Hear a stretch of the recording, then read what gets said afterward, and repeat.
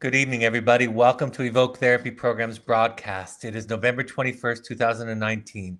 Tonight, we're going to talk about the idea of emerging adulthood. This is a, a shift that has come out in, in the literature in the past few years, and I'll talk about that as we go. Tonight's broadcast will be a little bit heavy on theory, but I think a lot of you really attend these broadcasts and listen to these podcasts to remind yourself of a, of a sensibility, of, of a way of being with with others and specifically your children. So I won't stay away from that. I'm going to share with you the, the theory around developmental theory around emerging adulthood, but I'm also going to talk about what that means for you emotionally, psychologically, even spiritually, uh, what it means to be a parent, to be a person, to be a self, and to be raising and supporting the development of another self, specifically your child. So, in, in recent years, there's been a shift away from the term failure to launch. That was the term that for many years we in, in this field used to describe young adults, 18 to 27 or so, that were, were struggling with, with the tasks that we associated with normal young adult development. Um, the problem with that is that it's, and this goes again to the theory, but also to the spiritual aspect of things it's problem focused, right? It doesn't really take into consideration um, some of the, the, the ideas that that feed into this idea about what is normal, socially, anthropologically, um, biologically, historically. It doesn't take those things into consideration, and I think, and this is not unusual for all parenting tasks, right? That that a part of the thing that gets in the way for all of us as parents to be our best parent is our comparison and, and living in a world that is dominated by should or shouldn't, how we should be raising, what things should be going on. And if I could offer one idea at the outset uh, of, of a simple skill, a simple tool, not an easy one, but a simple tool, it would be to eradicate the idea of should in our head. So failure to launch is riddled in the spirit with the, with the idea of should and shouldn't like I said, it ignores human history, right? The the the idea about what that age means is it hasn't always been the same throughout all time and throughout all cult- cultures.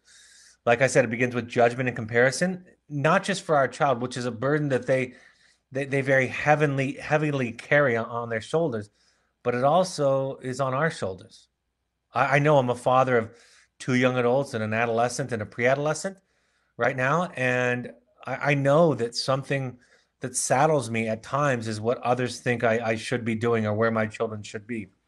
So it can negatively uh, affect my parenting. And again, this goes to a core concept in attachment theory. It doesn't seek first and foremost to understand. It starts comparing somebody to somebody's construct, right? Some construct about what is normal. And, and no matter how much we justify that construct, it is contrived. So it starts off from a place of, of judgment instead of understanding. Like I mentioned at the outset, anthropologically, biologically, and, and, and, and sociologically, it doesn't take those things into consideration with that idea of, of failure to launch. We associate it with the idea of low motivation, with, with a delay in uh, skills that we associate with adult adulthood, specifically financial responsibility and independence, stable relationships, and overall responsibility. So that's the history. That that's where we've come from. And in recent years, specifically with with uh, with a man by the name of Dr. Arnett, there's this idea that we need to shift not just the the words, but but the meaning, the, the the way we think about and approach all of our children to this place of emerging adulthood. And, and in that spirit, I want to tell you, just last night, my, my youngest, my 12 year old, uh, there was a there was a behavior that, that she was exhibiting, and my wife and I were, were talking about it. it was close to bedtime, and we, we discussed and came to the conclusion: let's ask her first what's going on. The behavior was unacceptable, but instead of focusing on eradicating the behavior, like I talk about in my book, in the behavioral chapter, let's just take a moment and ask her questions about what's going on. So we said, Hey, this this behavior, what are you feeling? What's happening? And at first you could feel the defense. Right? She didn't hear it as, as a what's going on question. She heard it as a you shouldn't be doing this question. And, and just initially responded with the defense. And then after we reassured her, we just want to understand what what's going on for you. She was very expressive and said, "Yeah, I, have been having a hard day today," and and you could see it was visible. I mean, I knew it from the behavior, uh, with with just taking a moment to consider it anyway. But for her to be able to express it, and so we said, "Okay." And then we we gently set a boundary around the behavior that we were talking about, but we gave her that outlet first. So with that idea, let's talk about what our young people, what our children are struggling with, but from a place of understanding first instead of a place of judgment or, or a, a, first impulse to, to fix or to modify the behavior that's trying to speak to us because they can't. Um, first of all, we know in brain development, I mean, this is, this is, it's remarkable that we don't consider this because virtually everybody knows nowadays that the brain is not fully developed or, or mostly developed until the, the mid 20s 24 25 26 27 it happens a little bit earlier with female brains a little bit later with male brains that's probably not a surprise but that, that, that tell the age of 27 that we we ought to consider the, the, the lack of brain development and, and really being an adolescent brain i think one of the things that excites me most as a therapist, the more we learn about, the more I learn about brain development, is there's going to be a time in our lifetimes. In fact, we're, we're approaching this time when we're going to be able to identify the, the, the brain issue involved in virtually all acting out in unhealthy behaviors. We can we can identify the antecedent, right? The the the stimulus or the trauma, the event that that, that preceded or precipitated the brain disturbance, the brain issue, but we're going to be able to identify it in the brain. And it, it explains perfectly the lack of functioning in a person. And there's so much non judgment and understanding that it's a brain issue. So it's an adolescent brain. I've joked about this fact. I don't say this in front of my children often, although I have in the past teased about it, that we call our adolescent children half brainers. I remember years ago sitting at the dinner table. My my, my third child was saying to uh, his oldest sibling, he was saying, "Hey, I I, I learned in school," said said to his older brother Jake, "I learned in school why you're mean sometimes." And Jake, who was a very young adult at that time, said, "What did you learn?" He said, "Well, our teacher told us that your brain isn't fully developed yet." And I was looking at Jake for the reaction, and his response was, Well, neither is yours. But it's this idea, this awareness that our brains aren't fully developed until mid to late 20s. Emerging adults are, are showing characteristics of both adolescents and adults, some more on one end of the continuum than the others. Other cultures show that there's not so much judgment, not so much taboo and shame with adult children living into their living home into their mid 20s right that's our idea. That's our concept. And even if we were look look back at history we might say previous generations of children were independent at 13 14 15 and that is true with some cultures but it's not a universal truth it's a truth that is certain constructs one of the most important things that happens in therapy i can't overstate this is this awareness that we experience when we get outside of our context, right? It could be another culture. Those of you who have traveled significantly will have will, will resonate with this idea. But sitting in therapy with another person, somebody outside of the family, and experiencing what that's like, we begin to understand that that the idea, the construct, the, the way that we were taught that the world was, growing up wasn't necessarily the way the world was. I like to say it was a truth, but it was not the truth.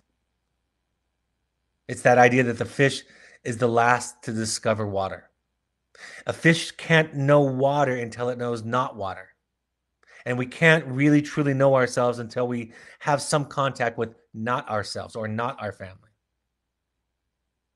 So there are other cultures that are different, other times that are different. Our beliefs and expectations determine our feelings and responses to our children with these challenges. It's not a minor issue. When I was preparing these slides for this evening, and this is not the first time that I've done this broadcast, but when I was preparing them, I was filled with that sense of it's okay, it's different. It's different. All, all of us are different. As a therapist, as a, as a client in therapy, maybe the most important experience that the client or, or I as a client can have is it's okay. Even when it's not okay, it's okay. I can just see it, be present with it, and listen to what it's trying to tell me the, the, the behavior, the diversion, the, the regression. Learning to value the process, meaning that that I was I've shared this recently. I was recently interviewed on a, on somebody else's podcast, and I, I had the question sent to me in advance. The last question about come up with one time in your life when you really realize the essence of, of being a parent, one aspect of the essence of being a parent. And as I was considering the answer to the question, I couldn't think of any successful decisions I'd made that, that, that solidified that for me. I could as a child. I could think of some things that my parents did that really gave me a sense of what it meant to be a, a, parent, an effective, adequate parent.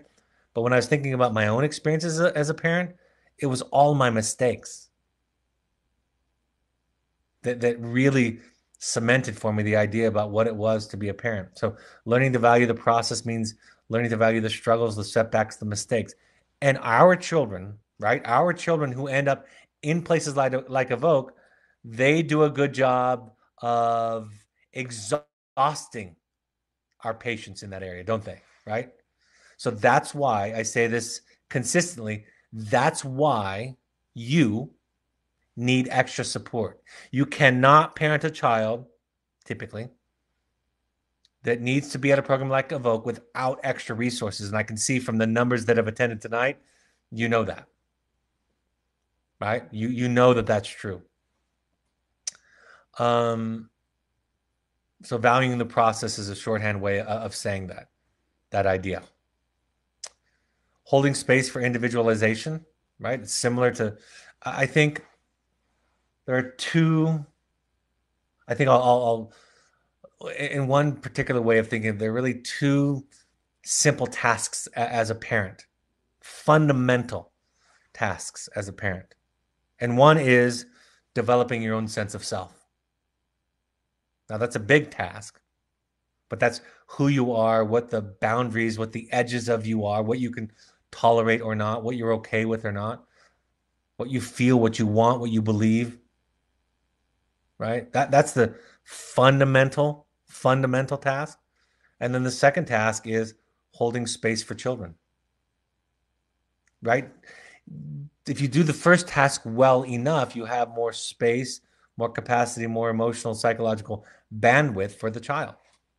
So that when you show up in your interactions with the child, it's for the child and not for you. But holding space for the child. When we get frustrated, angry, disappointed, sad, anxious, those are all likely to cause disconnection from the child. They're not unreasonable feelings, right? They're normal feelings to the, the situation at hand. We can't not feel them. Nobody should suggest to you that you not feel it. That would be crazy, right? But we just have to take care of it somehow, some way. Looking at family patterns and systemic uh, implications, right? The best way to understand your child is to understand your history. That's why, and I, I say this a lot I do not know.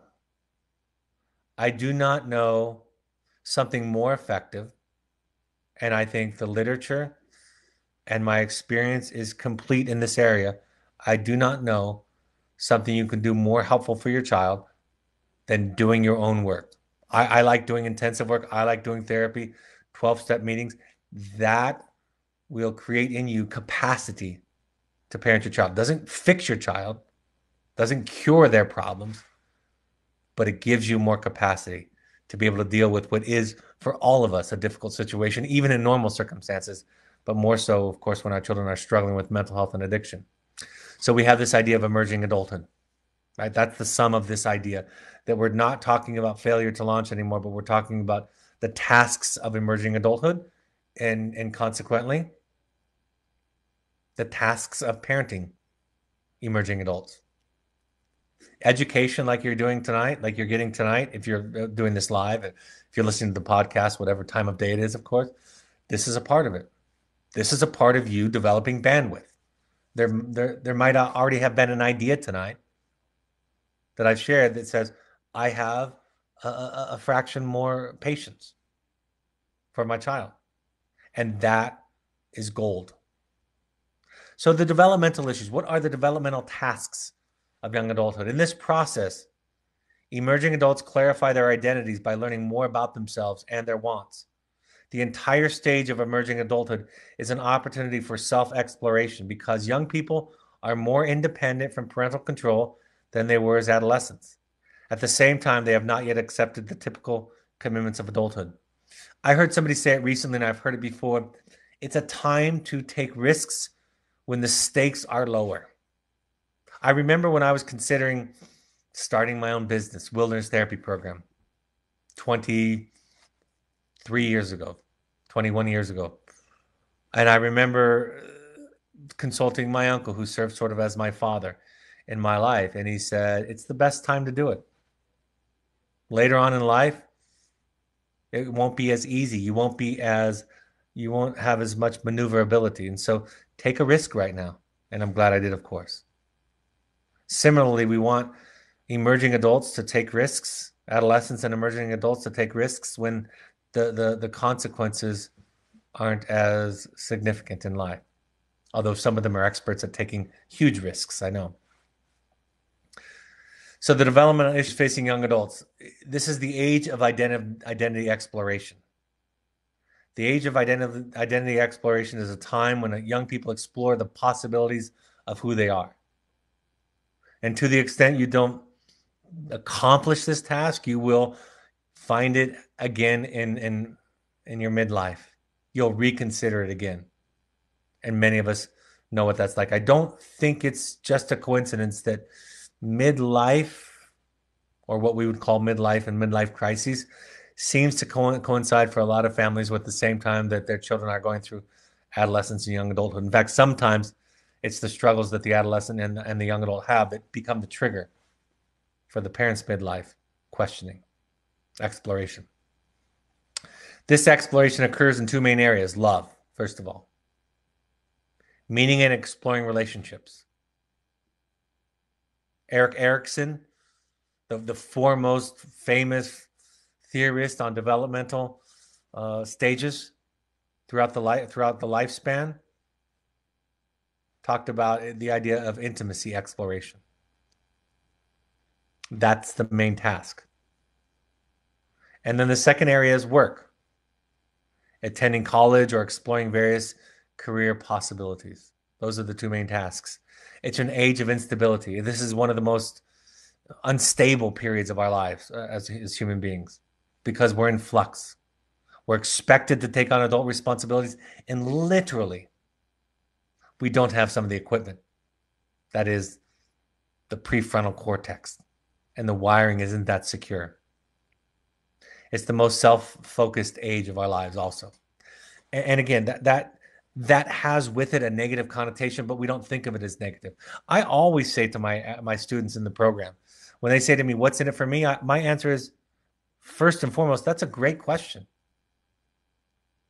There's virtually nothing I want you to do in your life that I don't think is going to benefit you. It's just not the case. Even if we're talking about service and love and compassion and empathy for others. That benefits you. Yes, it benefits other people too, but it makes your life richer. So many of us have this idea. We were told we were selfish growing up, right? That's how our parents modified our behavior. When they felt flustered and frustrated with us, they told us they, that, that we were selfish. And we were children, right? We were children. So we couldn't fight back. We didn't know how. They were bigger in more ways than one. And so we, we internalized this, this shame associated with self interest and self development. when when really we're we're just struggling to figure out who we are. So in this context, it, it doesn't have a negative connotation. The age of instability. Exploration and shifting choices make the stage of emerging adulthood exceptionally unstable. This instability is best illustrated by how often emerging adults move from one residence to another. While emerging adults are aware that they need a plan for the future, this plan is subject to numerous revisions. Each revision is evidence that they have learned something new about themselves and are one step closer to identifying the kind of future that they want. In emerging adulthood, instability replaces the anxiety anxiety of adolescence as the new source of disruption and stress. When I when I was introduced to this concept, it hadn't even dawned on me. Unless you live in a family where there's lots of moving, which some people do if you're in the military or there are other careers. But even in a successful young adulthood, when I went to college, I lived in a dozen different places. Maybe not that many, maybe 10 over the course of of I went to school for 8 years for eight years. That's a lot of moves in eight years. I haven't moved between the age of I started college when I was 21 and went till I was 29.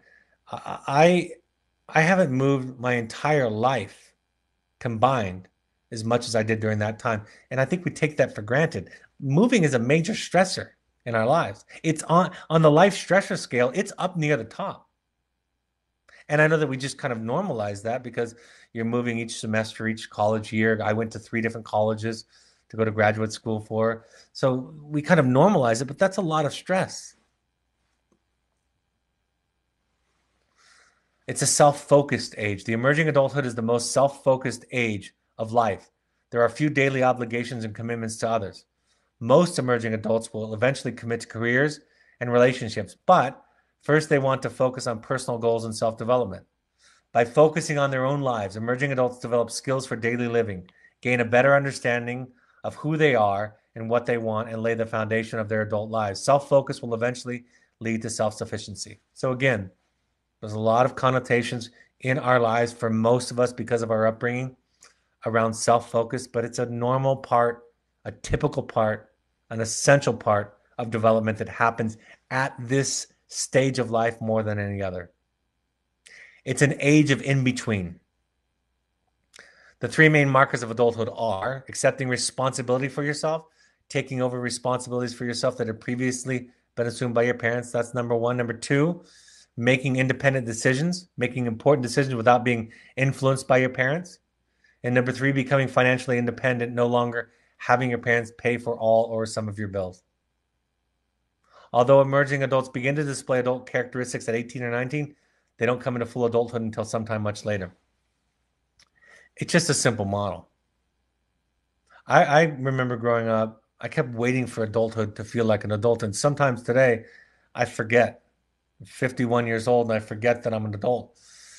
I keep expecting somebody to be there to, to kind of help me accomplish some of the things that I'm uncomfortable with in life just think how much more potent it is for them. And our sensitivity to that is critical. Doesn't mean we can't have boundaries. Remember, that's the first task of being a parent is developing a healthy self and learning about the edges of what we are and aren't comfortable with. But built on that foundation, we can develop a sensitivity to the challenges, the, the, the, the pressure, the angst of this stage. It's an age of possibility for an emerging adult, the future is full of possibility.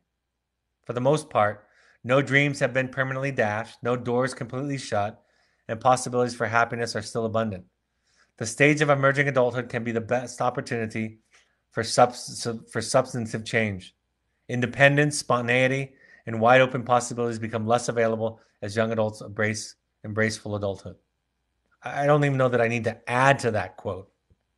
It just says what it is similar to the the the the story I shared about opening a wilderness therapy program and the advice I got from my uncle. And we could go on. And I know, by the way, I know dozens of people. It's it's it's part of the, the, the benefit of being in the field that I'm in.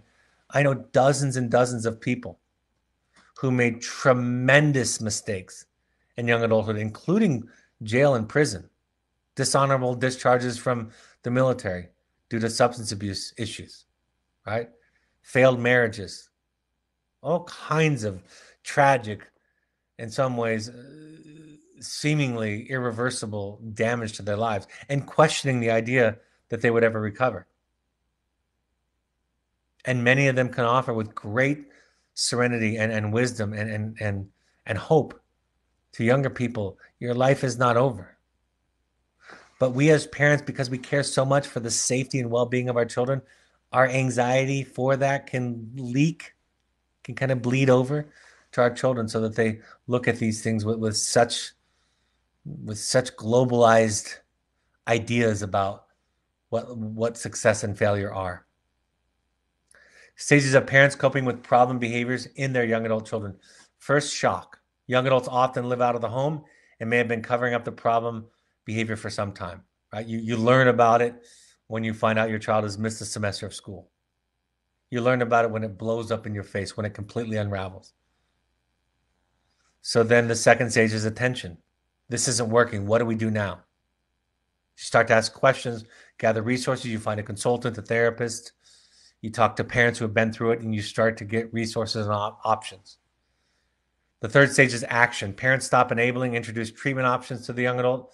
Sometimes they need to set ultimatum, right? These are your limits, your boundaries to attend treatment. Detachment is the fourth stage. Fourth stage. Parental influence without control, letting go of the outcome, which is the, the, the chasm between number three and number four is wide and deep. Right? Detachment is a lifelong task. If you want to learn about it, go to Al Anon. The first time you're there, they will give you a pamphlet on detachment. And you'll start to hear people talk about all across the continuum. People struggling with, with spouses and children with significant mental illness and or addiction. And you'll learn about how they have learned to detach from outcomes and found serenity. And I, I must say this become a better spouse, a better parent, a better friend, a better person in the process and more helpful. Stage five is autonomy, time for the young adult to differentiate. Parents go on vacation, right? You really start to pull, pull away, let them sink or swim. Connection is number six, developing a new relationship with your adult child that is supportive without enabling. In the early in the early phases of, of intervention, in that shock, attention, action phase, you'll find yourself coming out of denial, enabling, and, and really setting things up very, very strongly, very, very powerfully. And then you'll find yourself kind of going over that that that hump of the curve and you'll find yourself pulling away and detaching. And it's not the same thing as denial. It comes from a place of awareness and serenity and courage and strength. The key differences between adolescent and young adult clients this is in our experience from our perspective. Over 18 clients have more rights and can leave the program at any time. They must sign the contract and have the rights and have rights to confidentiality unless releases are signed. Information is shared with parents cautiously, as young adults are entitled to dictate what is and what is not shared with their families. Also, young adults tend to be more entitled because of their increased rights. Therefore, holding boundaries with them in the field is a balancing act with fostering engagement it really is a more effortful and complex process with young adults. Three, young adults tend to be more entitled. Oh, I already mentioned that. Uh, f- three, parents' leverage is diminishing. However, young adults are, for the most part, financially dependent on their parents, giving parents still some leverage, a great deal in many cases. They have more life experience and less, and thus more urgency to get back on track. Their length of stay is shorter than adolescents. They generally have greater insight, maturity, and motivation to change. Not always true, but comparatively, they do. What are the key differences in our program? Supervision is, and structure are still high. However, there's greater autonomy. Clients are encouraged to take a more active role in their treatment. We encourage more initiative. Staff take less of a parent child relationship and are more peer to peer while still holding strong boundaries. Clients aren't asked, for example, to turn in their shoes at night. because there's no run risk because they can walk away in broad daylight. The groups can be co ed in our program for the young adults, not for the adolescents. Length of stays, like I mentioned, tend to be slightly shorter as young adults tend to enter treatment less resistance and ready to work. Visits from parents, this is interesting. Visits from parents tend to occur more toward the later stages of treatment, say four, three quarters of the way through, versus mid treatment.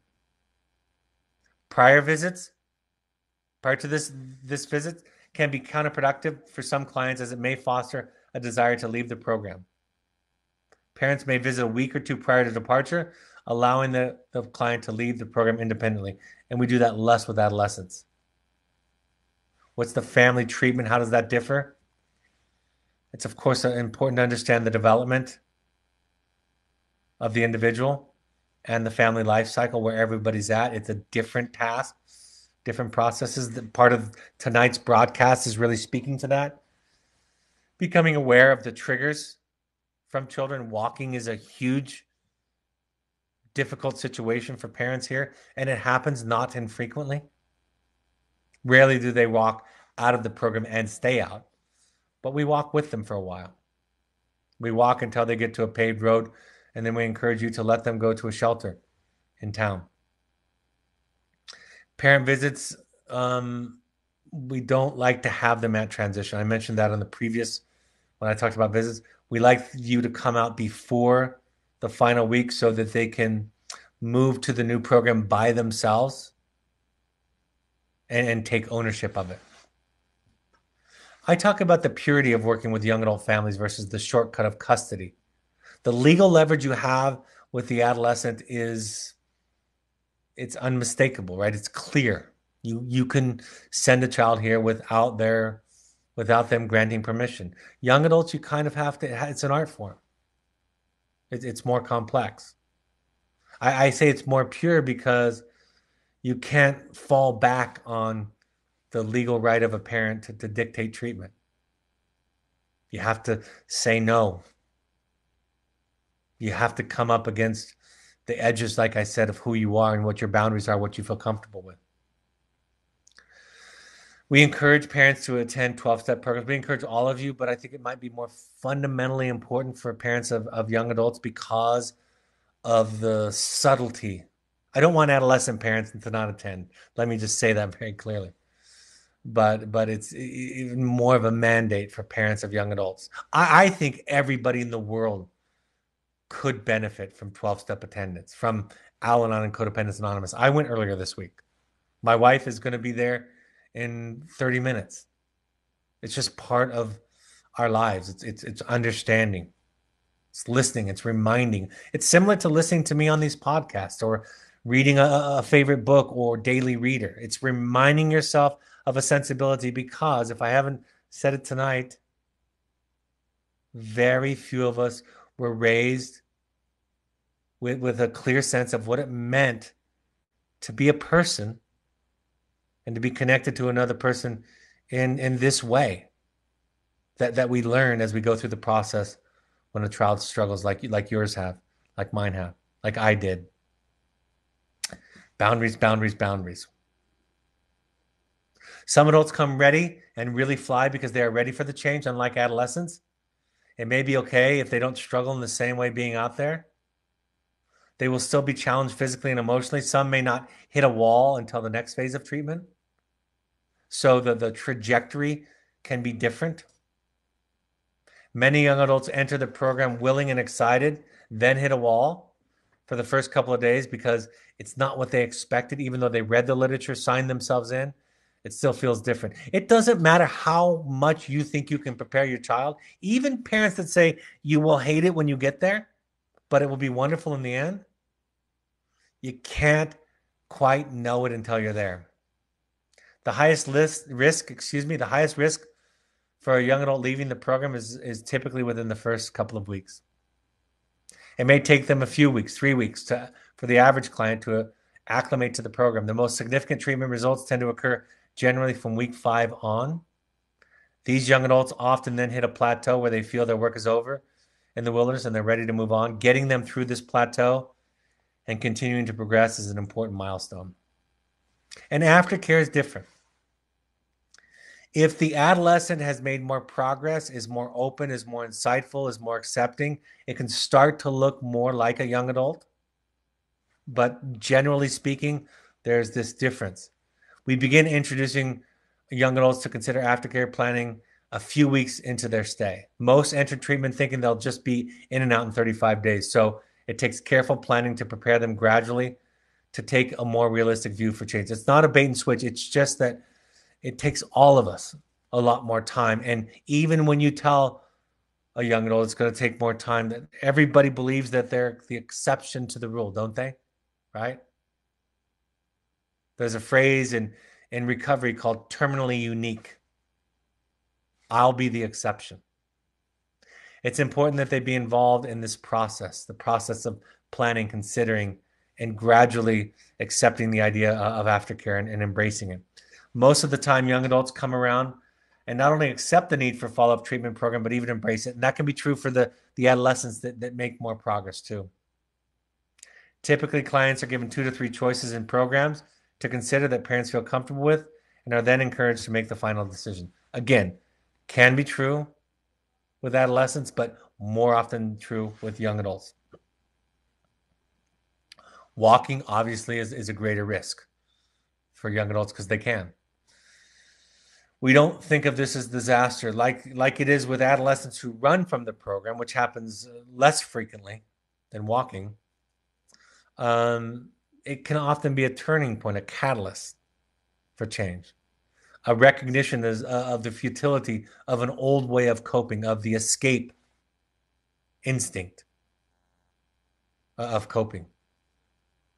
We view walking as an opportunity to intervene, not as a walkout. Some clients just need to experience asserting their adult right to leave so they can feel control.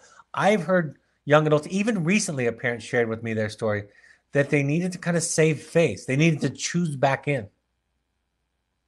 Often they return, and this can provide a powerful learning experience and a shift in treatment. The process can be used to whole, highlight the old escape pattern that I described. And the idea is that wherever you go, there you are. Making this challenging for them, not offering them a ride out, but requesting that they hike out, it gives them the time. We, we try to facilitate that the best we can and in all cases that we can. Maintaining them leaving on our terms and not theirs, asking that we provide staff support and leave when this is in place. Give asking give us some time to support you. Letting go and not emotionally reacting to the decision, taking the position of not trying to convince them to stay, but rather letting them own the choice, embracing their resistance while letting them bear the anxiety about their situation. You'll be coached along this process. Strategies for, for when if a young adult decides to walk involve having them join the group off of earth phase sooner to and using the group to normalize their experience and help them feel connected and supported and discouraging their, their departure. Peers have been through this ahead of them. So they can use that that positive peer culture to give feedback from a position that's non-threatening. It's not an adult, not a power, not an authority figure involving parents with a satellite phone call where parents set the boundary and not offer support should the child leave is a very common intervention, similar to an intervention. Parents are coached by the therapist to let go and allow their a young adult child to own the reality, own the reality of, of what it means to walk.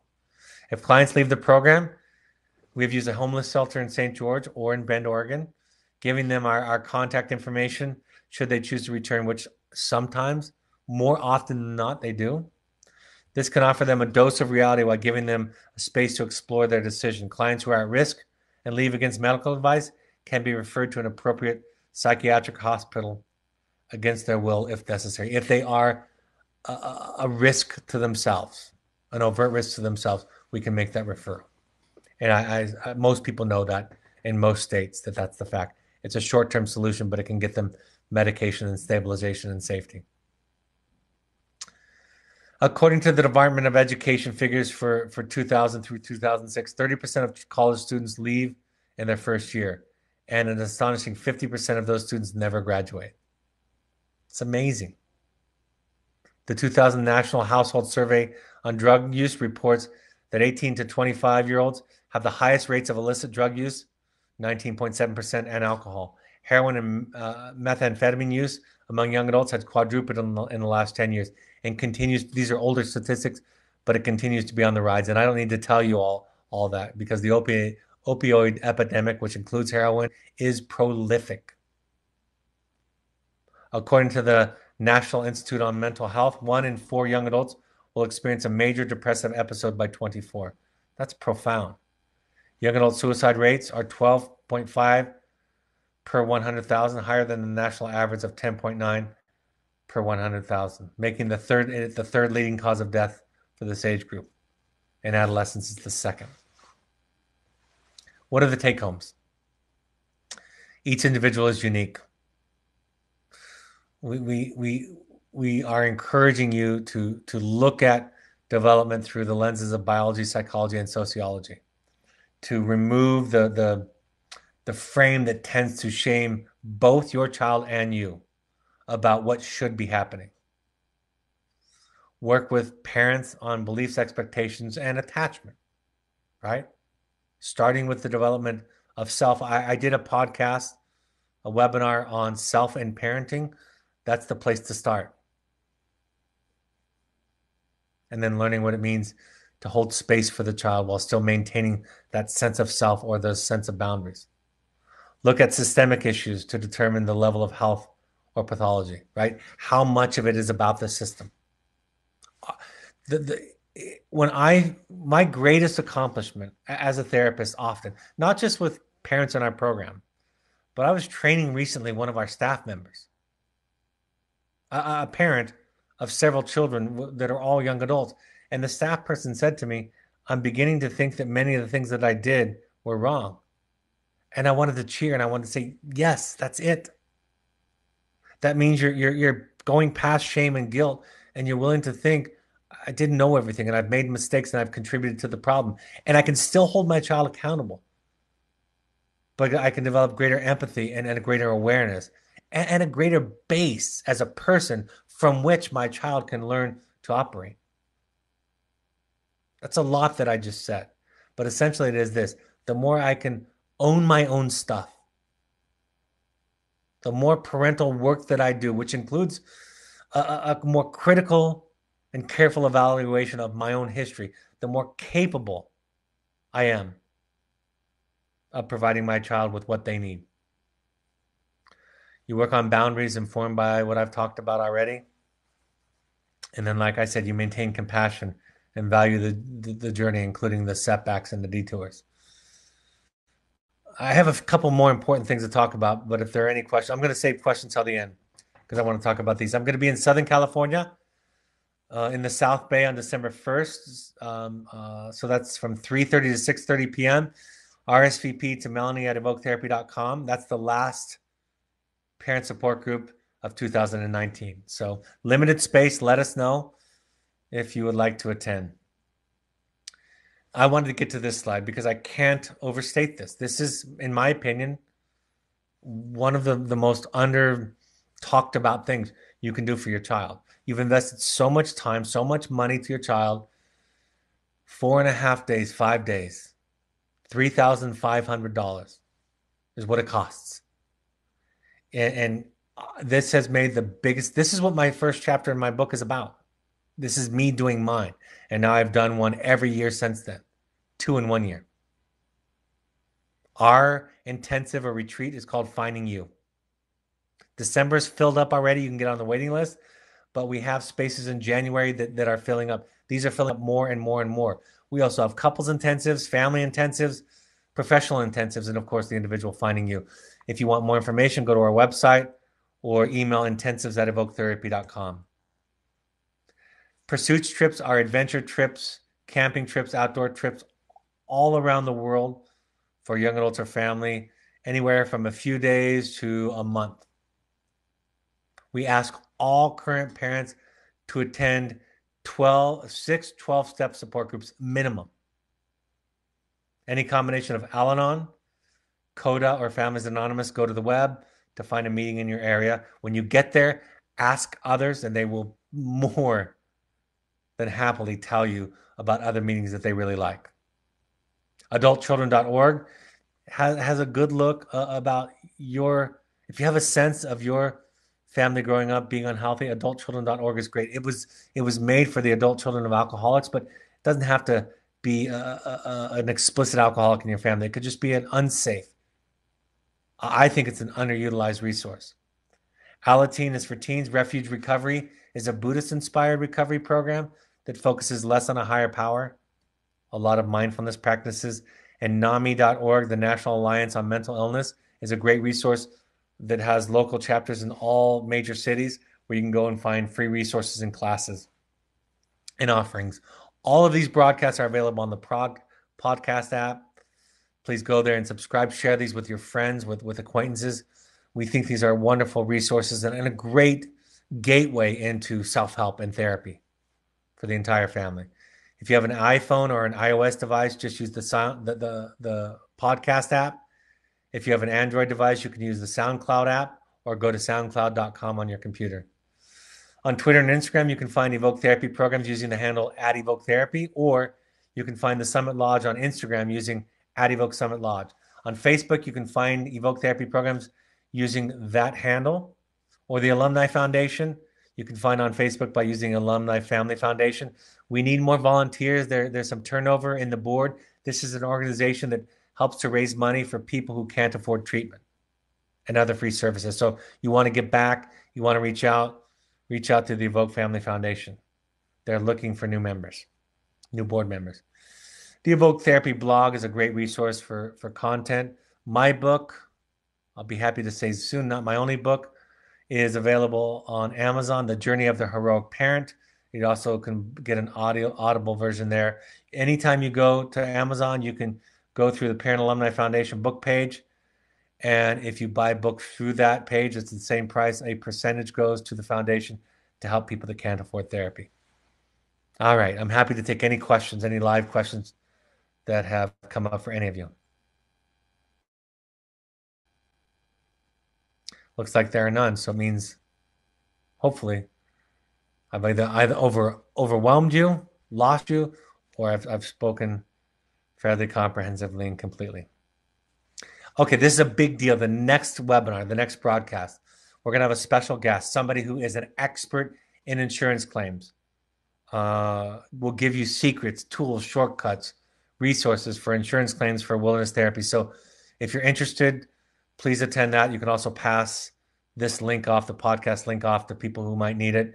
That'll be this Monday, November 25th at 7 p.m. Mountain Standard Time. Insurance claims for wilderness therapy. I look forward to co-hosting that that that with him with our special guest, and that'll be this Monday. So thank thank you for and in behalf of your children for for showing up. It takes great courage. The, the name of my book, the, the the heroic parent, comes from the idea that that to be able to willing to look at yourself, to look into your past, especially when it's not you who has the overt struggle, is a heroic task and is a rare task. And for me, it is the most liberating experience. Sigmund Freud said that the purpose of therapy was freedom. And what he meant by that was that the awareness gives you more choice, more autonomy, more agency in your life. So I hope these these points of contact are helpful. I'm excited to provide them for you. They're they're they're great for me. And thank you, like I said, for and in behalf of your child for the work that you're willing to do to show up here. Take care, folks, and I'll see you Monday evening. Bye bye.